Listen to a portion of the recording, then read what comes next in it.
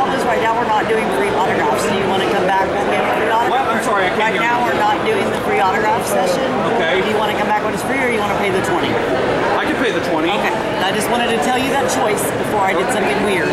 Okay. Also, could you please take it out of the jewel case for me because I don't want to mess it up or hurt it. I understand. As your mom would say, I don't want to mess it up or hurt it.